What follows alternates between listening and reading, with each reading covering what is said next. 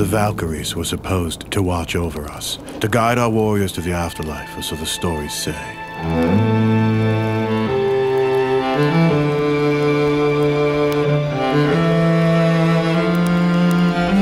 But that is no longer the case.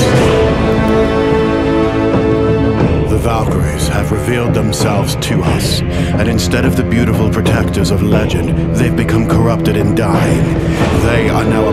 Plague upon this land, and for a victim slain by a dying Valkyrie, there's a chance through ritual a loved one can bring them back. I feel you.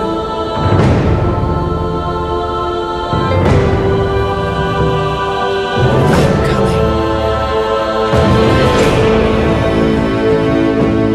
But as these desperate souls journey for the chance to resurrect their loved one as they were, the twisted chimera that awaits them as a fate worse than death.